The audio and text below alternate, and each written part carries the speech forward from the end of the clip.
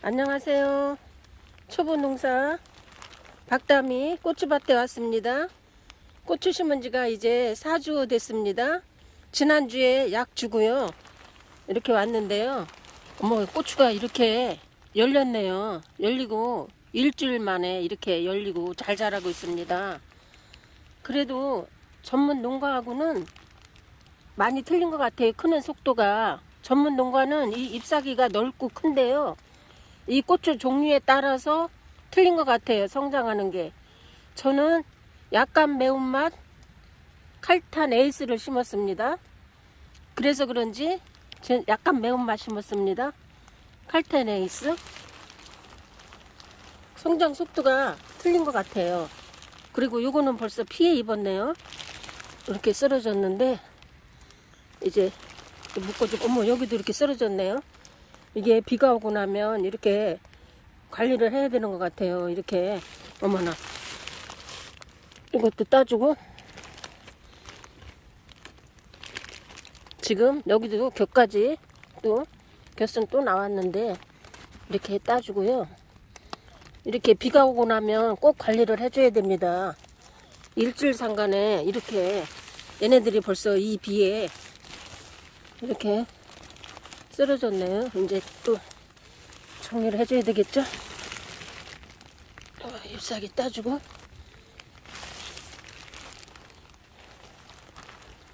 나름대로는 이쁘게 아주 잘 자라고 있네요. 고추들게 열려있고 전문농가 따라가고 있습니다. 너무 실망 안 해도 될 것 같습니다. 젊은 농가는 잎사귀만 좀 넓을 뿐이지 저희 고추하고는 종류가 틀린 것 같아요. 그러니까 저도 나름대로 잘 크고 있는 것 같아요. 저희 고추도. 그리고 이 감자 이렇게 예쁜 꽃을 따줘야 된다고 합니다.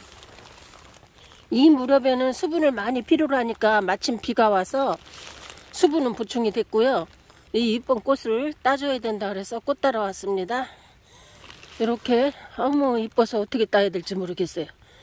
아, 어머 어떻게 이거 못 따겠어요. 차마 차마 못 딸 것 같아요. 그냥 조금 더 있다 시들면 따겠습니다. 너무 이뻐서 못 따겠습니다.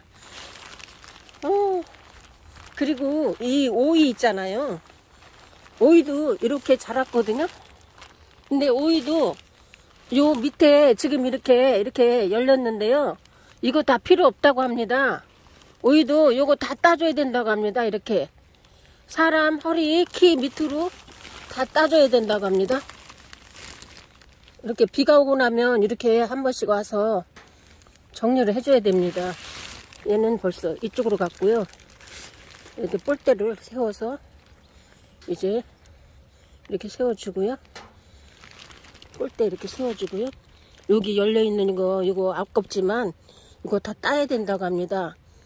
1m 사람 허리까지니까 한 1m 정도 되게 이렇게 따야 된다고 합니다. 그래야지 꽃 저기 오이가 많이 열린다고 합니다. 어머 이쁜 것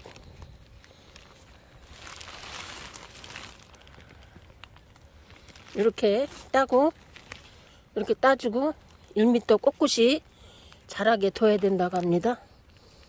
이렇게 이파리는 놔두고요. 얘도 이렇게 사람 허리까지는 이렇게 따줘야 된다고 합니다. 저는 아까워서 못 따고 놔뒀더니 많이 열리지 않는다고 합니다. 이렇게 밑에 열린 거 허리 사람 허리 밑으로 열린 건 이렇게 다 따줘야 된다고 합니다. 이렇게 따줬습니다. 또 여기도 이번에는 오이가 좀 성공한 것 같아요. 잘 자라고 있네요.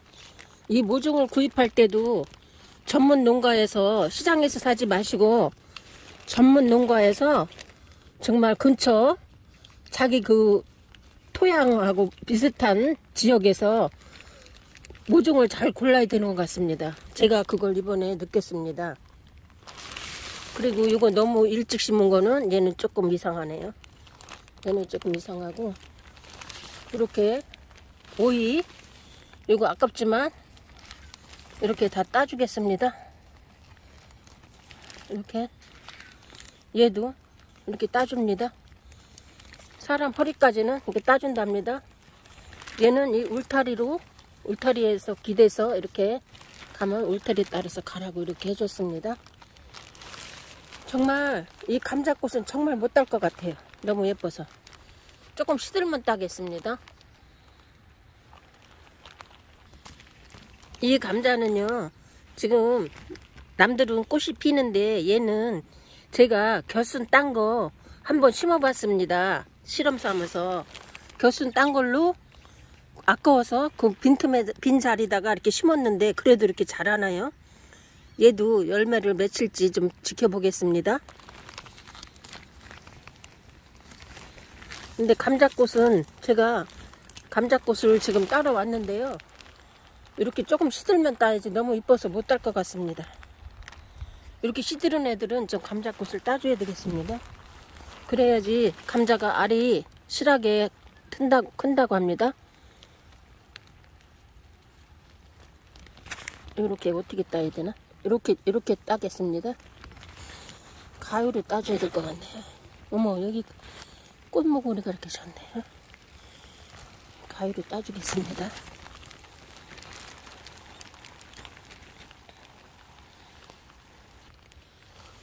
이렇게 밭에는 비가 오면 비가 오는 대로 이렇게 할 게 많습니다. 제가 일주일에 한 번 오니 오죽하겠습니까? 날마다 날마다 와야 된다고 합니다. 가지도 이제 겨우 이제 이렇게 살아났고요. 이건 돼지 감자인데 얘는 지금 가지도 가지가 커야 되니까 가지가 너무 이렇게 못 크고 있네요. 너무 일찍 심어가지고 냉해 입은 것 같습니다. 이 가지는 제가 냉해가 뭔지 모르지만 이게 설이 맞으면 얘가 못 큰다고 합니다. 지금 이렇게 참 어렵게 크고 있습니다. 그리고 전문 농가에 비해서 옥수수가 저희는 요거밖에 안 됩니다. 키가 전문 농가 한번 이따 보여드릴게요. 전문 농가는 얼마나 키가 큰지 모릅니다. 그래도 너무 기대하지 말고 이 두둑 같은 걸 잘 못했기 때문에 어쩔 수 없잖아요. 그냥 기다려 보겠습니다.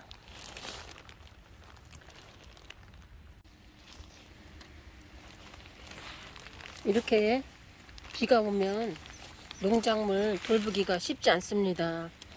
비가 올수록 더 자주 와야 되고요. 비 온다고 그냥 두는 게 아닙니다. 비가 오고 나면 다 관리를 해야 되고 정말 잘 자라 이런 것 애들은 정말 잘 자랐네요. 할 일이 너무 많습니다.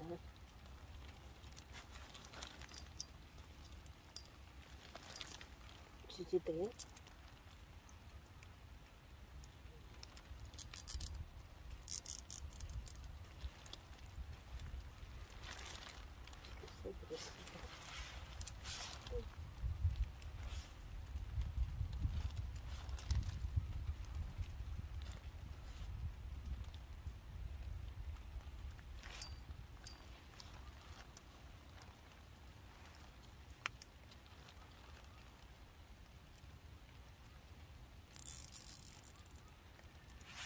때가 또 굵어질 거를 생각해서 너무 꽉 묶지 말고요.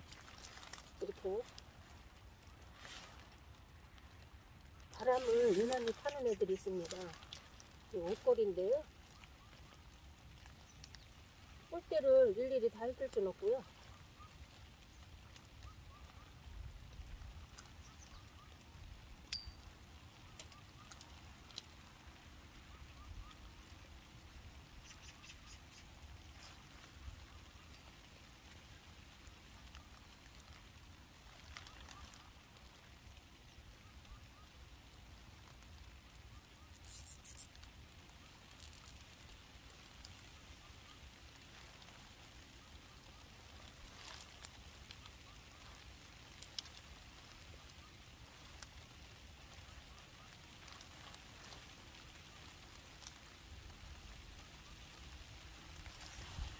얘는 바람에 많이 시달린 애입니다.